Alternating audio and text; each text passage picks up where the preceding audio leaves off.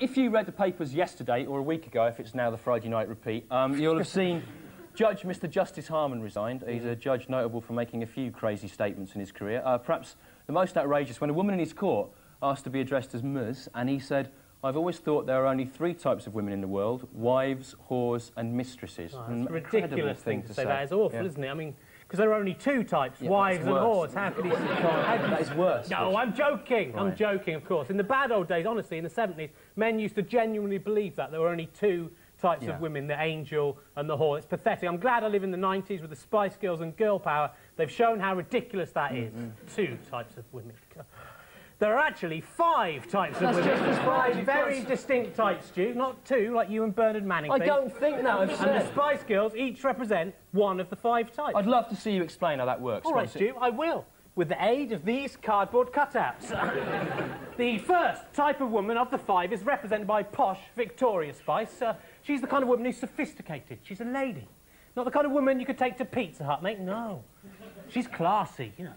You'd have to take her to Pizza Express, you know. can't say that. It's you know, a type sexist stuff point like- It's not. You can't Only one in five women are like that, Stu. Not one in two, like you and Jim Davidson. I don't You're think the that, sexist said. I'm not sexist. You can't- The second type of woman is represented by scary Mel B.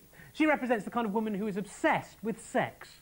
Sex, sex, sex. That's all she thinks about. She wants it, Stu. She's a whore. She's a. Jezebel. She's a harlot, Stu. She's a bed bucket. Bed bucket. Yes, Stu. She is. She wants it. It's not sex. It's only one in five women are like that, Stu. Not one in two, like you and Geoffrey Boycott I think. don't Stu. One in think five. that. The third type of woman is represented by Ginger Geri. Ginger Geri. She's the one with the red hair. Though, uh, if you've seen the photos of her on the internet doing that kung fu kick, you'll know she's not a natural redhead. Uh, she's the type of woman, she's a leader, Stu. She's powerful, she's manipulative, you know. She manipulates men to do what she wants. you know the type, that, mate, yeah. She's like Margaret Thatcher, but with a nicer arse. You can't. So It's a her feet- sexist point of view. You can't say that. The fourth type of woman is represented by baby Emma, right?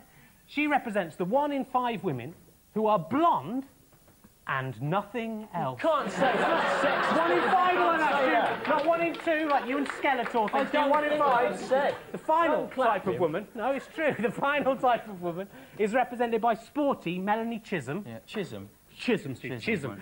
She represents the final 20% of women. The final 20% of women, which is ugly women who can jump. You can't say that. What do you mean, It's got an ugly face, Stu, but boy, what, What you are you leap is incredible. Look, it's like a Zebedee or So what- something. Look at that. Are you saying, you're saying that nature has given her the jumping ability as some kind of compensation for the ugliness? Is that it? Stu, I think that's too simplistic an explanation, the nature argument. That's what a lamb would think.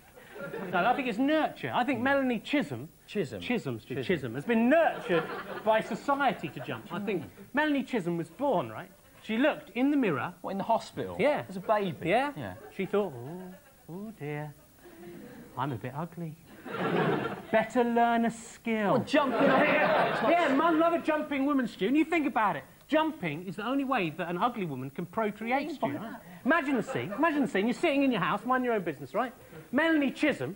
Yeah, Chisholm. Chisholm. Yeah, Chisholm. right. Could Chisholm. have leapt in through your window, done a cartwheel across the floor, done a backflip up onto your lap, collected your gametes. Chisholm. No. Gametes is more polite, Stu. In her ovaries, and be out the window before you even had a chance to look at her. Just as she's disappearing down the street, you'd go, hold on, she's a bit ugly. It's too late, Stu. She's got your gametes. Yeah, uh, the ugly women.